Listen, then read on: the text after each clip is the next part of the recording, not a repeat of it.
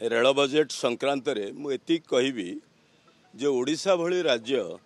ସ୍ୱାଧୀନତାର ଅମୃତ ମହୋତ୍ସବ କ'ଣ ହେଉଛି? କିନ୍ତୁ ରେଳ ବଜେଟ୍ ଏକ ସ୍ୱତନ୍ତ୍ର ବଜେଟ୍ ଥିଲାବେଳେ ଯେଉଁଭଳି ଭାବରେ ଓଡ଼ିଶା ପ୍ରତି ଦୃଷ୍ଟି ଦିଆଯାଉନଥିଲା ଅନୁରୂପ ଭାବରେ ଯଦି ଦେଖିବେ ରେଳ ବଜେଟ୍ ଯେତେବେଳେ ସାଧାରଣ ବଜେଟ୍ ସାଥିରେ ମିଶି ସାରିଛି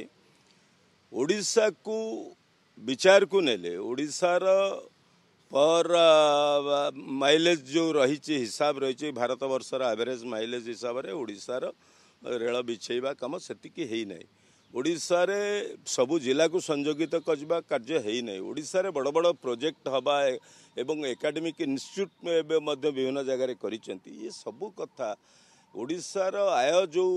ଦେଖାଯାଇଛି ଦୁଇ ଲକ୍ଷ କୋଟି ମୁଁ ତାର ଟୋଟାଲ ହିସାବକୁ ଯେଉଁ ଯାଏ ବା ନଯାଏ ଗୋଟିଏ କଥାରେ କହିବି ଯେ ରେଳଠାରୁ ଓଡ଼ିଶାରୁ ରେଳ ଯେତିକି ଆୟ କରୁଛି କାରଣ ଟ୍ରାନ୍ସପୋର୍ଟେସନରେ ବିଶେଷ ଭାବରେ ଆୟଟା ରେଳରୁ ରେଳ ଜରିଆରେ ହେଉଛି ଯେ ମିନେରାଲ ଟ୍ରାନ୍ସପୋର୍ଟେସନ୍ କୋଲ୍ଡ ଟ୍ରାନ୍ସପୋର୍ଟେସନ୍ ଏ ସାରା କଥାରେ ରେଳ ବିଭାଗ ଯେତିକି ଆୟ କରୁଛି ତଦନୁସାରେ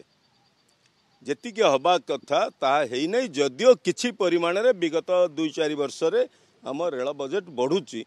କିନ୍ତୁ ଏହା ପର୍ଯ୍ୟାପ୍ତ ନୁହଁ ଓଡ଼ିଶାଠୁ ପାଉଥିବା ଆୟ ଅନୁସାରେ। ବିଗତ ଦୁଇ ଚାରି ବର୍ଷ ହେଲା ଯଦିଓ ଏ ଦିଗରେ କିଛିଟା